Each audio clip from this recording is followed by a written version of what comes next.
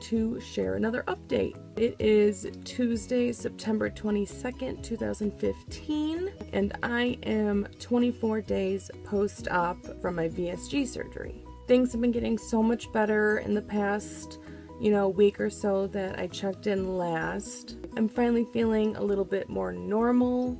I'm really excited. I've been able to go back to the gym, even just for, you know, a mild workout, walking on the treadmill, doing some weights. But I'm just glad I can get back in the gym and back to my usual routine. I'm not so sore anymore. I don't have so much pain on this side. So I'm really glad I can get back into the swing of things. So my progress so far is I'm down 54 pounds total from the very beginning, and I am down 37 pounds from my surgery date. Before surgery, I went and bought a Fitbit so I can keep track of my steps and my calories that I'm burning every day.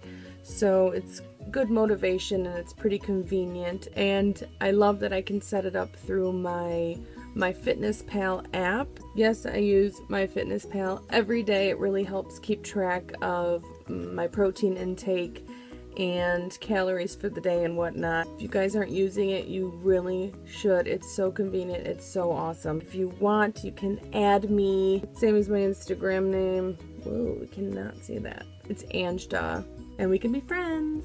I was talking with one of my mom's friends about the whole experience and everything, and how, you know, now that I'm recovering almost fully, I can focus on my weight loss right now, and my whole outlook on everything is like shifting.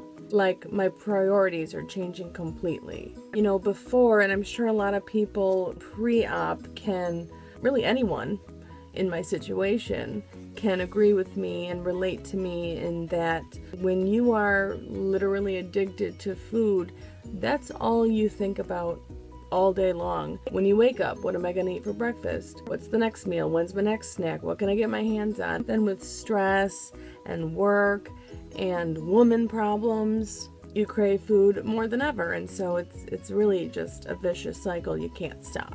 So now that my focus is off of food for the most part, I'm starting to think more about what I want to do with my free time, what kind of hobbies or activities can I get myself into, and with this slight boost to confidence so far in my progress, it's really going to help me get out there and stop being so caged in physically and emotionally.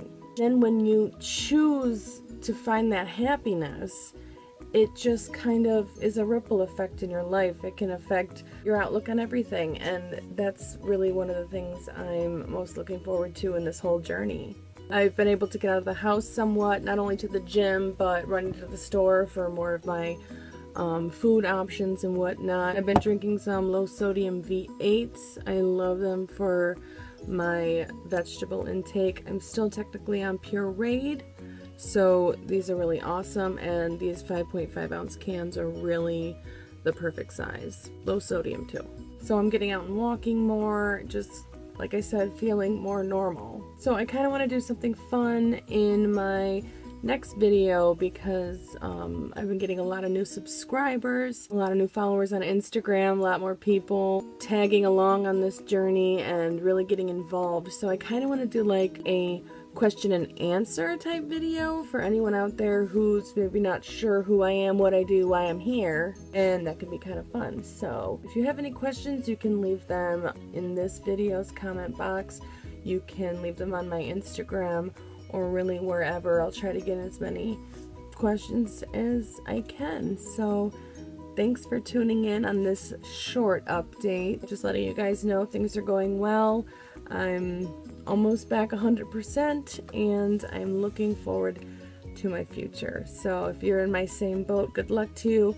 A lot of folks online getting approved for surgery, getting their surgery dates, or just had surgery. So mwah, all my love to all of you guys. Speedy recoveries, all that stuff.